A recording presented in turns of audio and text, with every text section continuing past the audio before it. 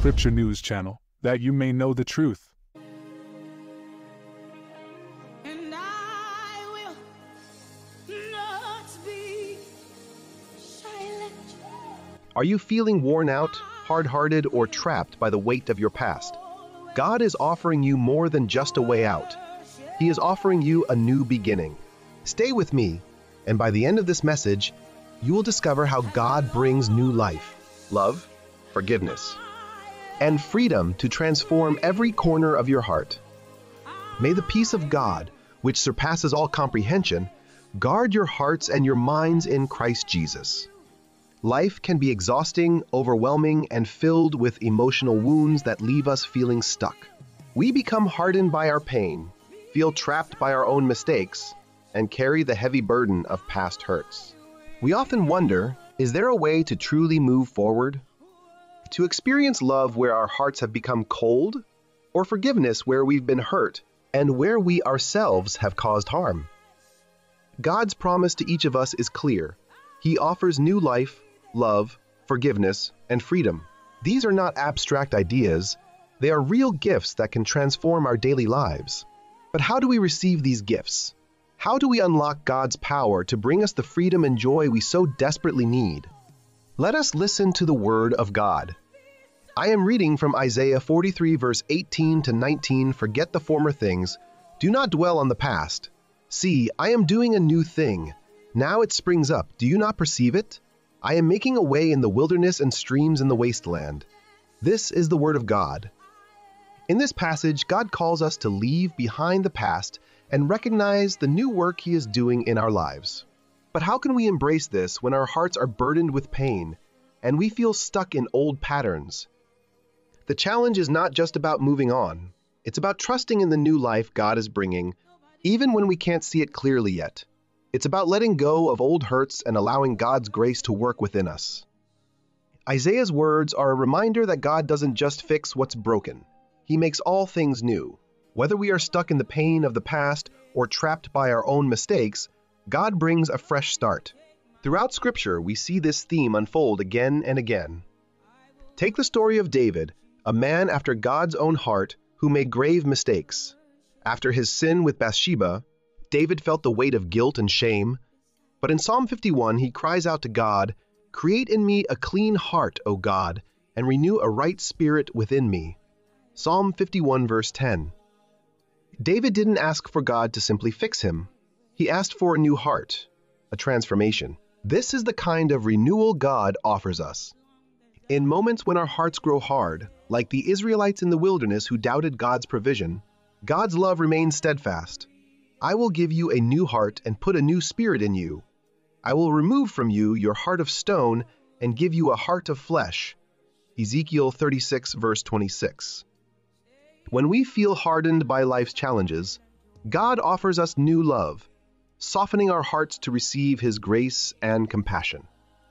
Similarly, when we feel imprisoned by unforgiveness, whether toward ourselves or others, God brings freedom. Jesus Himself, while hanging on the cross, prayed, Father, forgive them, for they do not know what they are doing. Luke 23, verse 34. Even in the depths of pain, Jesus chose forgiveness. If Jesus could forgive from the cross, how much more can we, with His Spirit in us, forgive those who have hurt us and seek forgiveness for our own wrongs? God's promise of new life and forgiveness also brings joy and freedom. Where we once felt trapped, God's Spirit sets us free. As Paul writes, Now the Lord is the Spirit, and where the Spirit of the Lord is, there is freedom. 2 Corinthians 3, verse 17. This freedom is not just from sin, but from the burdens of fear, shame, and self condemnation that we place on ourselves. Here's the good news no matter where you are right now, whether weary, burdened, or distant from God, He is doing a new thing in your life. He's bringing streams of grace to the dry, barren places in your heart. All He asks is that you open your heart and welcome His Spirit to begin the work of transformation. So, how does this passage speak to you today? Perhaps you're holding on to past mistakes or hurts, or maybe you've grown cold in your faith. God is inviting you to embrace the new life He is offering. Today is the day to release what has held you back and trust in the freedom, joy, and peace that only God can bring. He brings new life where you are worn, new love where you've been hardened, and forgiveness where you've been wounded. God's word is clear. He is making a way for you, even in the wilderness of your heart. You are not alone in this journey. The Holy Spirit is with you, guiding you into the fullness of God's love. God is doing a new thing in your life right now. He brings new life, new love, and new freedom where you need it most. Trust in His promise and let Him transform every part of you. Prayer points 1. Lord, renew our hearts and help us to let go of past hurts. 2. Father, soften our hearts where they have grown hard and fill us with your love. 3. Holy Spirit, bring freedom where we have been imprisoned by unforgiveness, fear, or shame. Closing prayer, Heavenly Father, we thank you for the new life you bring to us. Today, we release our past to you and embrace the new work you are doing in our hearts. We declare that where there was once hurt, you will bring healing. Where there was once hardness, you will bring softness and love. And where we were once imprisoned by fear or shame, you will set us free. We trust in your promises, and we declare freedom, joy, and peace over our lives.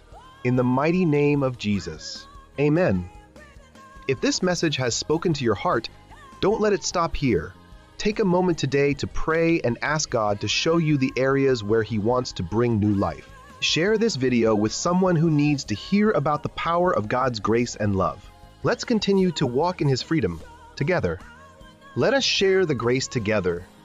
May the grace of our Lord Jesus Christ, and the love of God, and the fellowship of the Holy Spirit be with us all, now and evermore. Amen.